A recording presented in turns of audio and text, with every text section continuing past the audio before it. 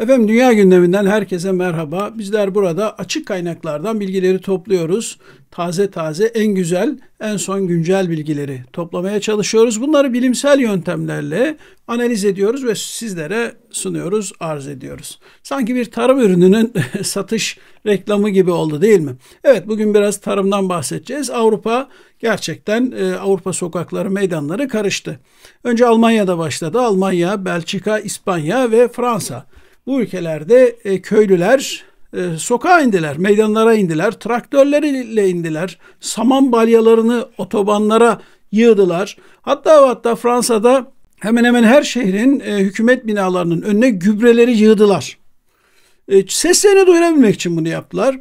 İlk önce dediğim gibi Almanya'da başladı. Almanya'da iş e, başbakan yardımcısını ailesiyle birlikte feribottan indirmeme, hatta hatta geri e, gitmesine e, gitmeye zorlama şeklinde protestolar çok sert boyutlar kazandı. Ama o ölçüde kaldı. Almanya standartında sert oldu. Fransızları biliyorsunuz yani bir gösteri yapmaya görsünler ortalığı yakıp yıkıyorlar. Ne gösterisi olduğu önemli değil. Son 20-30 yılın gösterilerini şöyle baktığımız zaman işte polise saldırırlar, binaları kundaklarlar, otobüsleri ters çevirirler. Şimdi bu köylü gösterileri de başladı, çiftçilerin gösterileri de başladı. Buna benzer manzaralar e, uç vermeye başladı. Paris'in etrafındaki otobanları e, kapattılar. Yani çok sayıda otoban, 9 tane ana otoyol e, kapandı.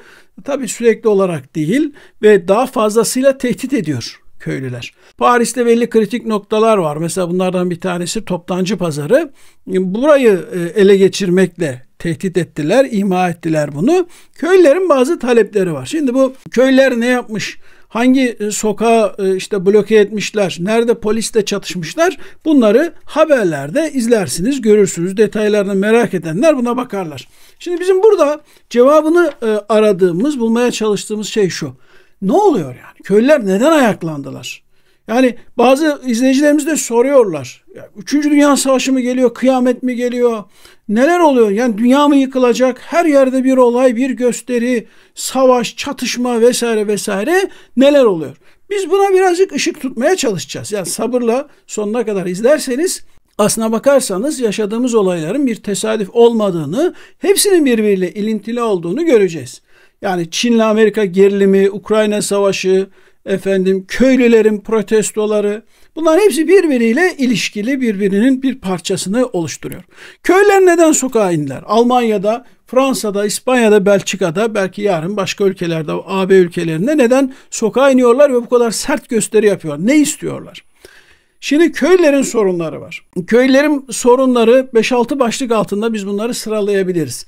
Birincisi Ukrayna ürünleri ee, Ukrayna'da bir savaş var ve Ukrayna'ya bir takım toleranslar gösteriliyor. Ukrayna malları Avrupa pazarlarına kolayca giriyor. Ee, yani eskiden olduğundan daha farklı bir şekilde giriyor ve bu Avrupalı köylüleri, Avrupalı tarım üreticilerini zor durumda bırakıyor. Sadece Ukrayna'da değil diğer bazı detaylar da var. Başka ithal ürünler de var ki bunların arasında Türkiye'den giden ürünler de var tabii. Türkiye'nin tarım ihracatı da var ama Türkiye'ye ciddi e, vergiler uygulanıyor. Yani Türkiye tarımda bir gümrük birine geçmiş değil.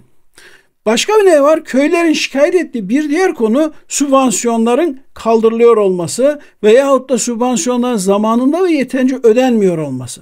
Sübvansiyon ne demek? E şu demek. E şimdi köylüler traktörüne ne kullanıyor? Mazot kullanıyor. E, gübre alıyor.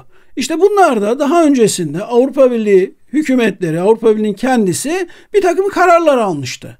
E dedi ki ben sen işte şu kadar mazot kullanıyorsun, 10 litre mazot kullanıyorsun, şu kadarını ben senden almayacağım veya sana geri iade edeceğim. E, sübvansiyon bu demek. Yani bir takım maliyetleri devletin üstlenmesi veya tamamını devletin üstlenmesi demek. Devlet artık bu sübvansiyonları ödemek istemiyor ödemek istemiyor. Neden ödemek istemiyor? Çünkü Covid döneminde Avrupa Birliği ülkeler çok açıldı. İtalya'sından Almanya'sına, Fransa'sına kadar sen evde otur ben sana maaş vereyim. İşte sen evde otur yeter ki sokağa çıkma e ben sana şunu da vereyim. Ben sana bunu da vereyim. Şimdi yoktan var edemezsiniz. Siz tanrı değilsiniz. O nedenle ne oluyor? Borçlanarak bunu yaptılar. Bütçeler çok açıldı. E Covid bitti. İşbaşı başladı. E sürekli olarak bu ödemeleri artık yapamazsınız. Borçları kim ödeyecek? O nedenle hükümetler dediler ki biz bu bütçe açını nasıl kapatırız? İşte bunlardan bir tanesi de sübvansiyonları kısalım veya da azaltalım. Ve köylülere yöneldiler. Almanya'da da bunu yaptılar. Fransa'da da bunu yaptılar. Sübvansiyonları kesmeye kalktılar. İş, e, çiftçiler ayaklandı. Ve nitekim Almanya bu planından vazgeçti. Fransa da bu plandan vazgeçti. Vazgeçti ama bir kere ayağa kalkan çiftçi yerine oturtamadılar. Hala o isyan devam ediyor. Bir diğer mesele Avrupa Birliği Mercosur e, gibi bazı e, devletlerle ve uluslararası örgütlerle, yapılarla serbest ticaret anlaşmaları yapıyor. İşte Mercosur dediğimizde Güney Amerika'da e, oluşturmuş bir entegrasyon e, projesi. Avrupa Birliği gibi yapılanmadan bahsediyoruz. Güney Amerika, Latin Amerika çiftçilerinin ürettikleri malların efendim hayvancılık ürünlerinin, canlı hayvanların mesela Arjantin'den, Brezilya'dan vesaire Avrupa Birliği ülkelerine gümrüksüz girmesi, serbest ticaret kapsamında girmesi hedefleniyor. Bununla ilgili görüşmeler yıllardır sürüyor bu görüşmeler ve görüşmelerin bir anlaşmayla sonuçlanmak üzere olduğu anlaşılıyor. Bu Avrupa Birliği çiftçilerini, köylülerini, hayvancılıkla uğraşan kişileri vuracak. Neden vuracak? Çünkü Avrupa Birliği'nde e, çiftçiler çok sıkı, e, ağır yükümlülüklere tabi. Öyle hayvanını istediği gibi saldım çayıra mevlam gayra böyle bir mantıkla yetiştiremiyorsunuz. Avrupa Birliği'nin koyduğu kurallar var. İşte hayvanın işte şu ortamda yaşayacak, işte kaldığı yerde bir pencere havalandırma olacak, şu kadar işçi orada çalışacak, şu denetimlerden geçecek. E şimdi Brezilya'daki köylü böyle öğretmiyor ki. Brezilya'daki köylü bir hayvan yetiştirecek. O hayvan diyelim ki 100 liraya mal olacak. E burada Fransız köylüsü bir hayvan yetiştirecek. O hayvan 500 liraya mal olacak. Ama ikisi de aynı pazarda o ürünü aynı fiyata satacak. Güya diyorlar ki bu rekabet uymaz. Biz burada çok ağır şartlarda üretim yapıyoruz. Maliyetlerimiz çok yüksek. Brezilya'nın, Güney Amerika'nın o e, kontrolsüz devletlerinin olduğu yerlerdeki ürünlerle biz rekabet edemeyiz. Diyorlar ki isyanın asıl çıkış noktası burası. Yani Mercosur anlaşması ve benzeri anlaşmaların, serbest ticaret anlaşmalarının Avrupa köylüsünü, çiftçisine, hayvancılıkla uğraşanlarını vuracak olması. Buna isyan ediyorlar. Şu anda da Macron, yani Fransa Devlet Başkanı Emmanuel Macron Avrupa Birliği ile pazarlık yapıyor. Sakın diyor bu anlaşmayı onaylamayın. Fransa'nın gücü buna yetecek mi, yetmeyecek mi ona bakacağız. Tabii mesele biraz Avrupa Birliği'nden de kaynaklanıyor. Avrupa Birliği bir karar alıyor bütün o bütün devletlere dönük olarak bu karar uygulanıyor. Yunanistan'a da aynısı uygulanıyor. Fransa'ya da aynısı uygulanıyor. Ne bileyim İspanya'ya da aynısı uygulanıyor. Oysa ki bu ülkelerin hepsi birbirinden farklı ülkeler. Bu ayarlamayı yapamıyorlar bir türlü. Evet ne dedik? Ukrayna ve benzeri yerlerden gelen ürünler, ucuz ürünler Avrupa piyasalarında, tarım alanında ciddi bir rekabete yol açtı. İkincisi sübvansiyonları devletin kaldırmak istemesi köylülere ayaklandırdı. Zaten maliyetler yüksek. Üçüncüsü Mercosur gibi gruplarla yapılan, yapılacak olan anlaşmalar, serbest ticaret anlaşmaları köylüleri e, gerçekten korkutuyor, panikletiyor. Dördüncü neden Avrupa Birliği'nin bazı çevre uygulamaları ve tarım uygulamaları. Avrupa Birliği diyor ki dünyamız ısınıyor, küresel ısınma var, yeşiller bastırıyor. E ne yapacağız? Sen böyle diyor işte ne bileyim buğday yetiştiremezsin. E nasıl yetiştireceğim? Şöyle yetiştir. Böyle sulama yapamazsın. Nasıl yapayım? Böyle yap. Sonra diyor işte senin ne kadar toprağın var? 100 dönüm toprağın var. 100 dönümün hepsini diyor ekemezsin diyor. E ne yapacağız? Yüzde dördünü her yıl nadasa bırakacaksın. Hani bizde vardı ya eskiden biraz böyle gübre eksikliğinden falan nadasa bırakırdık Türkiye olarak. Avrupa Birliği bunu bundan dolayı istemiyor. Her diyor şey e, tarla efendim tarımla uğraşan e, kişi, grup, şirket topraklarının yüzde dördünü nadasa bıraksın. Niye bırakıyoruz nadasa? Çevre çeşitliliği olsun diyor. Yani her yer buğday olmasın, her yer patates olmasın. Sen yüzde dördünü bırak ki orada tabiat kendisini tazelesin.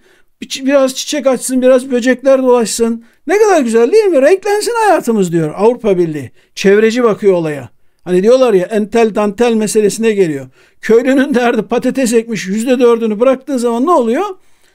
Adamın e, karı yüzde dört düşmüş oluyor. En az yüzde dört düşmüş oluyor. Avrupa Birliği'nin böyle çevreci politikaları var.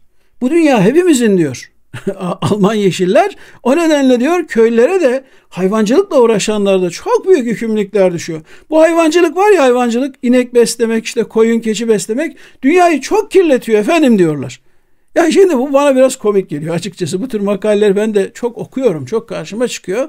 Dünyayı en çok kirletenin hayvancılık sektörü olduğu söyleniyor. Yani yanımdan geçen otomobillere bakıyorum, kamyonlara bakıyorum. Sonra bir tarafta da Adam inek yetiştiriyor. Ondan süt çıkarıyor. Sütünü içiyorsun. Efendim etini yiyorsun. Derisini kullanıyorsun. Sonra diyor ki bu diyor çok kirletiyor diyor. Buna bir önlem bulmamız lazım. Önlem bulmamız lazım. İşte önlem olarak da laboratuvarda et üretmeler, veganlığın işte şey yapılması, teşvik edilmesi. Bu bana açıkçası böyle bu çevre meselesinde çok ciddi sahtekarlıklar ve çelişkiler olduğu kanaatindeyim. Neyse bunu biraz daha araştırdıktan sonra sizlerle o duygularımı daha net paylaşmak isterim. Evet, çevreci tarım Avrupa Birliği köylüsüne çok ağır yükler yüklüyor, maliyetlerini artırıyor. Son olarak da bu maliyet artışını da ayrı bir başlıkta açtığımızda enerji fiyatlarında artış var.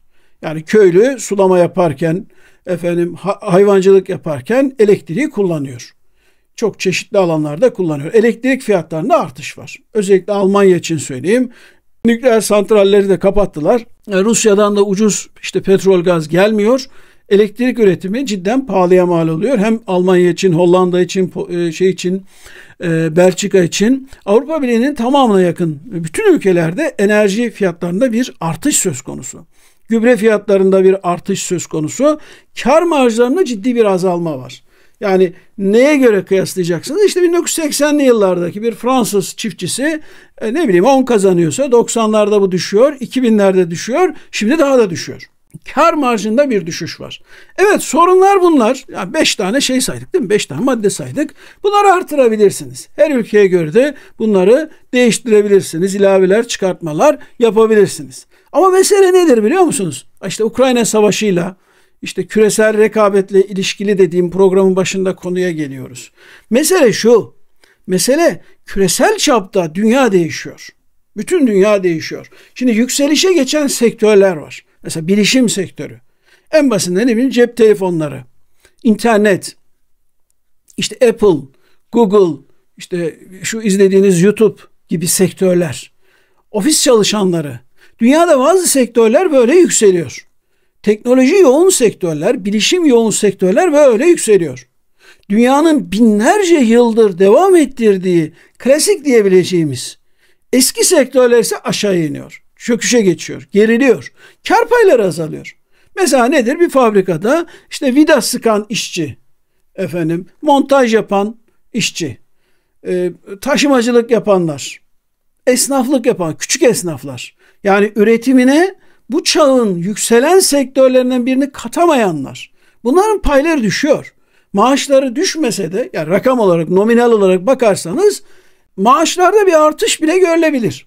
Almanya'daki işçinin maaşı artıyor olabilir. Ama yani 1980'li yıllarda marka olarak aldığı maaş bugün aldığı euro olarak aldığı ve çok daha yüksek görünen maaştan belki alım gücü olarak 4 misli 5 misli bazı durumlarda 10 misli daha yüksek maaşlar alıyordu Almanlar, Fransızlar. Yani işçiler, klasik işçiler. Bunlar bu işin kaybedeni oldu. Siz buna ne diyebilirsiniz? Küreselleşme deniyordu bir ara. Şimdi onu daha az duyar olduk. Küreselleşme işte. Yani bu yeni dünya. Dünyanın bütün hatları, fay hatları kırılıyor. Bir gerilim var. Siyasi olarak hatlar kırılıyor. Askeri olarak güvenlik açısından kırılıyor. Ekonomik olarak kırılıyor. Ne demek kırılıyor? Yeni bir dünya kuruluyor. Eski dünya çöpe gidiyor. O eski dünyanın kaybedenleri var. Yeni dünya geliyor, bunun da kazananları var. Adam ofiste oturuyor, bir saat çalışıyor. Sen gidiyorsun, bir inek almışsın. Bir ay boyunca o ineğe bakıyorsun. Adama bir saatlik ofis çalışması senin o bir ineğe bir ay bakmandan daha fazla parayı kazanıyor. Anlatabiliyor muyum? Yani dengeler değişiyor. Sadece dünya devletleri arasında değil. O yüzden Amerika çok korkuyor. İşte kendi küresel liderliği, hakimiyeti sarsılıyor. Ona uyum sağlamaya çalışıyor. Şimdi aynı şekilde Fransız köylüsü de korkuyor. Adamın alım gücü bitiyor. İşçi, işçinin alım gücü bitiyor. Başka sektörler ön plana çıkıyor. Ee, yani eğer internette veyahut da işte dediğim gibi bir çip üreterek ya üretimden de daha çok işlemeye doğru işler gidiyor. Sen gidiyorsun işte yüzlerce dönüm tarlan var. Domates ekiyorsun. Bir çıkıyorsun işin içerisinde neredeyse zarar ediyorsun. Ama öbür adam diyor ki benim domatesim organik. Süslüyor, püslüyor, dantel yapıyor bilmem ne. internete koyuyor. Sadece zenginlere hitap ediyor. Bir kilo domatesden acayip kar ediyor. Yani yeni çağın yeni ihtiyaçları var. Bu değişimi sağlayamazsak yani bu sizin için de benim için de hepimiz için geçerli. Bu çağın ihtiyaçlarını karşılayanlar yükseliyor, karşılayamayanlar düşüyor. Düşenler arasında da klasik tarım yapanlar var. Ve dünya e, devletleri de bu tarım meselesini nasıl halledeceklerini henüz bilemiyorlar. İşte görüyorsunuz Paris sokaklarını traktörler kaplamış. Ama yani traktörle tarım e, yani o eski 1950'lerin 60'ların e, tarımını yaparsan bu yeni dünyada yoksun zaten. Nasıl olacak o zaman? E, şirketler yapacak. Nasıl olacak? Bilgisayarlar yapacak. Değil Bin dönüm araziyi evet, bir kişi, iki kişi. O da bilgisayarın başında duracak kişi.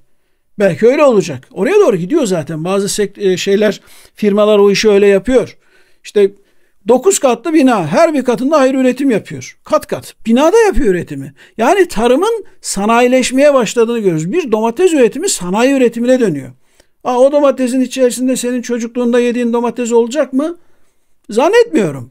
Ne kadar lazımsa onu koyuyorsun. Topraksız tarım yapılıyor. Yakında güneşsiz. Şu anda da yapılıyor. Güneşsiz tarım yani. Yapay ışıkla Bunlar hepsi yapay hale geliyor. İnsanlar yapay hale geliyor. Dolayısıyla şunu söylemek istiyorum. Yükselişe geçenler var, gerileyenler var. Gerileyenlerin başında köylüler geliyor, çiftçiler, hayvancılıkla uğraşanlar geliyor, işçiler geliyor. İşçilerin pek çok refah hakları ellerinden alındı. Artık Almanya'da da, Fransa'da da bir işçiyi kovmak geçmişe göre daha kolay. Hala bir Amerika kadar değil. Amerika kadar değil. Ve Amerika'dakiler sürekli pompalıyorlar. Diyorlar ki ya işçiyi kovmak da kolay olsun, almak da kolay olsun.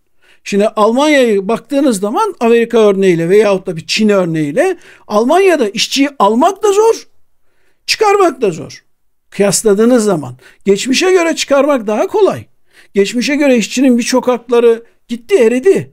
Ama Çin'deki rekabet, Endonezya'daki rekabet, efendim 3. dünya ülkelerindeki rekabet, Amerika'daki rekabet Almanya'daki hakları hala fazla gösteriyor. Dolayısıyla Alman işçisi bundan sonra daha az hakka sahip olacak. Daha az hakka sahip olacak, daha kolay işe alınacak, daha kolay atılacak. İşsizlik olmayacak belki. Amerika'da işsizlik yok gibi bir şey.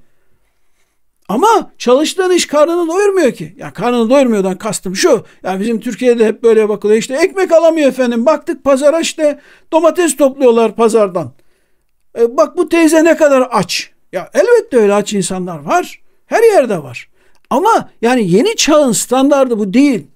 Adam cep telefonu alamıyor. Sat cep telefonunu geçin. Ya arkadaşım cep telefonuyla her şey yapılıyor artık.